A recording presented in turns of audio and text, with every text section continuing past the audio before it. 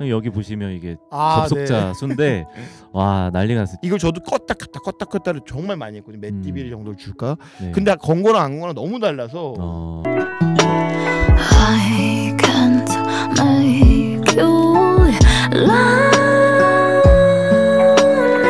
장난 아니지 않나요? 음. 저는 이 프로젝트를 형님이 보여주셔가지고 실제로 봤는데 와 그냥 입이 안 다물어지더라고요. 근데 이거 지금은 사실 재밌어서 재밌- 재밌잖아요. 막. 아까 도훈이 형이 튠이 재밌으시대요.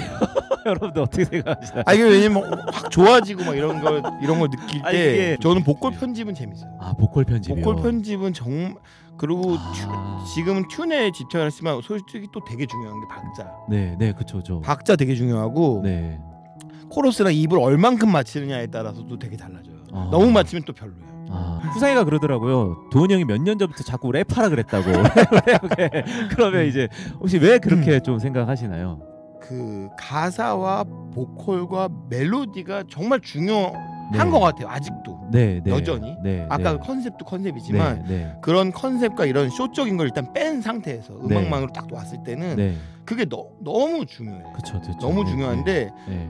우리들은 대부분 음악 하는 사람들이 이제 열심히 노력하는 게 뭐, 보이싱 네. 그리고 뭐킥 소리, 네. 스네어 소리. 네. 근데 이, 이런 것들도 물론 너무 중요해요. 네. 너무 중요한데 그것보다 우선순위에서 가장 중요한 게 멜로디랑 가사. 음. 그 중에서도 가사일 수도 있어요. 가사. 어, 네. 조금 더 한 6대 4 정도 느낌. 아.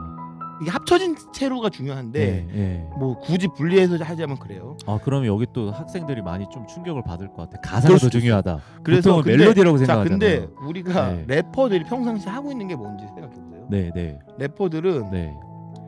계속 트랙에다가 flow로 음. 짜고 가사를 네. 쓰는 걸 계속 연습하고 있어. 네. 가만히 그 사람들이 뭘 연습하는지 보면 작사 작곡 연습하고 있어. 아, 그게 어, 작사 작곡. 네, 그쵸, 그쵸. 작사 작곡이에요. 그쵸, 그쵸. 멜로디도 그래서 하고 래퍼들한테 네. 래퍼들한테 랩을 맡겨보신 경험들이 있는 사람들은 다 아실 텐데 여기 여덟 마디인데 한번 써보실래면 하면 진짜 저쪽 갔다가 한 15분 만에 네, 뚝딱 와. 뚝딱 써갖고 네. 왔는데 꽤 센스 있겠어요. 그쵸 알죠? 네, 근데 근데 우리가 그렇게 쓸 수 있냐? 못 하잖아요. 못해요. 네. 그래서 실제로 어떤 일이 있었냐면 작 곡을 쓴 지 얼마 안 된 애랑 우리 회사에 이제 신인 가수 애랑 네. 둘 다 신인 작곡가요. 네, 네, 네. 네. 근데 둘 다 곡을 딱 가져왔는데 음.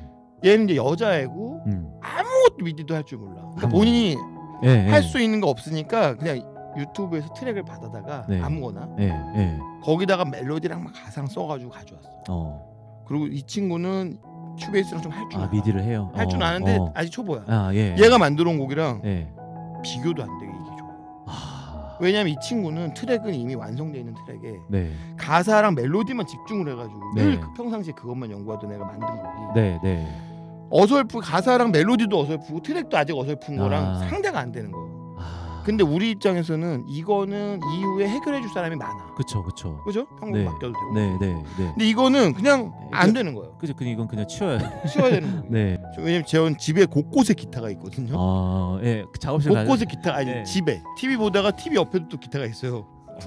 그러면 기타를 치면서 랩을 하면 최강이겠네요. 최고예요. 정말 최강이에요. 어. 그게 최강이에요. 10대 분들 기타를 치면서 랩을 연습하세요. 그게 최강이에요. 지금 그럼 예, 그냥 그걸로 끝나. 끝나. 어. 기타를 치면서 저스틴 랩을 비버예요, 하면 그게. 저스틴 비버래요. 끝난대. 에드시런. 예.